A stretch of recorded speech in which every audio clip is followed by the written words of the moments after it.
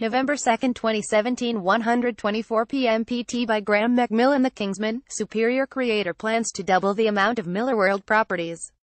It's been a couple of months since Mark Millar revealed that Millarworld, his comic book company and home to such projects as Kick-Ass, Kingsman and Wanted, had been sold to Netflix. Now he's finally teasing what that means for his comics projects and more. Talking to comicbook.com in his first interview on the subject, Millar teased the launch of a new comic book project this weekend, saying, This comes out of a brand new project I've created in-house and I've asked pretty much the best artist in the industry right now if he'd like to draw the comic book.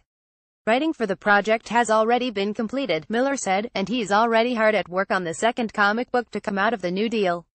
The first is a completely original piece of work, the other a sequel to one of our existing franchises people really liked a couple of years back, he teased.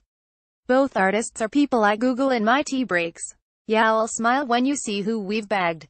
Netflix will use Millarworld as an entry into comics publishing, Millar revealed, promising around 20 monthly comics a year or four graphic novel collections per year.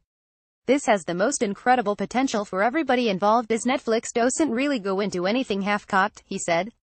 I've been doing this job since I was 19 and I've never been more excited about where this is going to go. And as for adaptations of existing Millarworld comics, there's just nothing off the table, according to the writer. But Netflix purchase goes far beyond existing properties. We're also going to be doing a lot of brand new stuff too on top of the franchises you've already seen, Millar said. They bought 17 franchises when they bought our company and I'd like to create that many again too for Netflix. Graeme McMillan Threws at thr.com Graeme